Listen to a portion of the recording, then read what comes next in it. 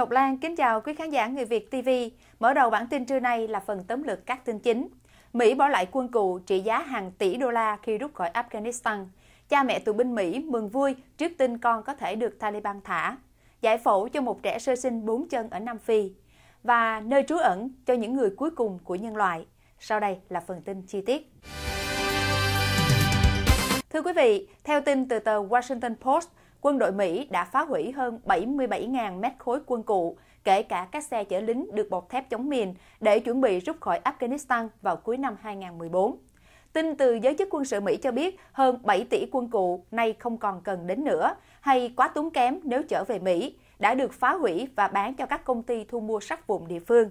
Mặt khác, giải pháp chuyển giao số quân cụ này cho chính phủ Afghanistan cũng rất khó khăn vì thủ tục hành chánh rườm rà, phức tạp. Và hơn nữa, các giới chức Mỹ cũng không tin rằng phía Afghanistan có khả năng duy trì các quân cụ này. Giải pháp bán hay tặng lại cho các quốc gia đồng minh khác cũng phải hủy bỏ vì chi phí đưa các quân cụ này ra khỏi Afghanistan rất cao. Trong số các quân cụ được nhà thầu từ Nepal và các quốc gia khác phá hủy để bán sắt vụn, gồm khoảng 2.000 xe vận tải chống miền MRAP. Xe vận tải MRAP đã giúp cứu mạng hàng ngàn binh sĩ, cho thấy tổn thất vì bơm mìn đã giảm hơn 80% kể từ khi loại xe này được đưa vào sử dụng trên chiến trường. Thân nhân của trung sĩ Paul Burdell, một tù binh Mỹ bị bắt cách đây 4 năm tại Afghanistan, cho biết cảm thấy khích lệ trước tin Taliban sẵn sàng phóng thích ông trong một cuộc trao đổi tù binh. Đề nghị trao đổi trung sĩ Paul Burdell để lấy 5 sĩ quan cao cấp Afghanistan đang bị giam tại Guantanamo Bay được đưa ra giữa lúc Tổng thống Hamid Karzai sẵn sàng tham gia đàm phán kế hoạch hòa bình với Taliban. Trung sĩ Burdell, năm nay 27 tuổi, cư dân tỉnh Haley ở Idaho, là tù binh duy nhất của Mỹ bị giam giữ trong cuộc chiến tranh Afghanistan. Ông bị đưa khỏi căn cứ ở Afghanistan vào cuối tháng 6 năm 2009 và bị giam giữ tại Pakistan. Đại tá Tim Marsano, người giữ vai trò liên lạc giữa quân đội Hoa Kỳ với gia đình trung sĩ sau khi ông bị bắt, cho biết đã liên lạc và trò chuyện với cha mẹ của Paul vài lần trong tuần qua. Hiện gia đình của Paul chưa muốn tiếp xúc với báo chí, nhưng đại tá Marsano, người giữ vai trò liên lạc giữa quân đội Hoa Kỳ với gia đình của trung sĩ này, cho biết họ đang soạn một bài diễn văn cho chương trình vinh danh trung sĩ Pro sẽ được tổ chức vào thứ Bảy này.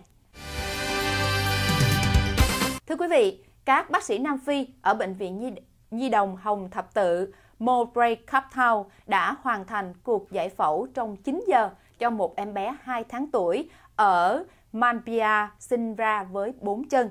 Phát ngôn viên Bộ Y tế Xã hội Nampia cho biết em bé này được cắt bỏ bớt hai chân mọc ra từ bụng dưới.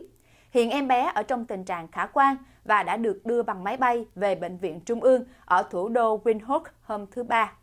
Mẹ em nói với các phóng viên rằng một ngày sau khi ở khu săn sóc đặc biệt thì em bé tỏ ra chịu thuốc.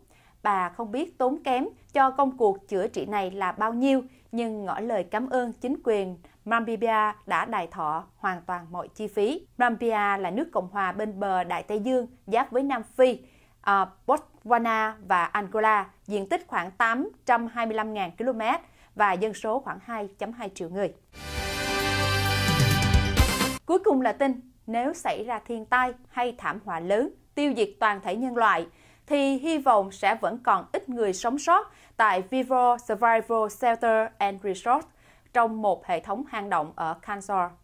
Đó là viễn kiến của Robert Vicino, một nhà thiết kế ở California khi thành lập khu an dưỡng dưới lòng đất lớn nhất thế giới trong những hang đã được đào cách đây hơn 100 năm ở Atchison, cách Kansas City, Missouri. Để xây những hang động này, thì Vicino đã mua khu đất trước kia dùng làm kho vũ khí của quân đội để xây dựng Vivo Survival Shelter and Resort. Ông nói rằng ngay bây giờ đây là một nơi hứng thú cho những người đến nghỉ dưỡng và có thể tập luyện khả năng mưu sinh sống còn. Hệ thống hang động này nằm sâu từ 100 đến 150 feet dưới mặt đất và nhiệt độ trung bình luôn luôn dưới 70 độ F, có đường xe hơi và được xây dựng để có thể chứa khoảng 5.000 người và 1.000 xe RV. Đặc biệt, theo lời Vicino, thì một trái bom nguyên tử, một megaton, nổ cách xa 10 dặm không gây ảnh hưởng.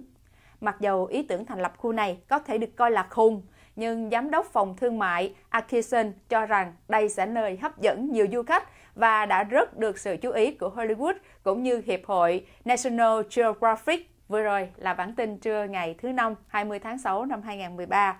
Cảm ơn sự theo dõi của quý vị. Ngọc Lan kính chào tạm biệt và hẹn gặp lại trong chương trình kỳ tới.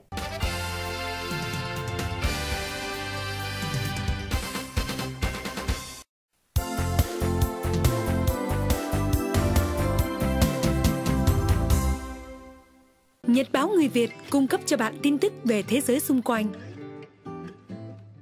Phóng viên và thông tín viên người Việt khắp mọi nơi mang đến cho bạn tin tức mới nhất, chính xác nhất và cần thiết nhất.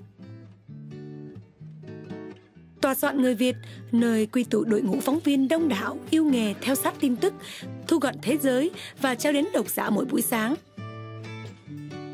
Nhật báo Người Việt và Người Việt Online là chiếc cầu nối giữa độc giả và giới doanh nghiệp – số phát hành lớn nhất, quảng cáo hữu hiệu nhất, gia vật phong phú nhất. Người Việt, nhu cầu tinh thần không thể thiếu. Mọi liên lạc xin gọi 714 892 9414 892 9414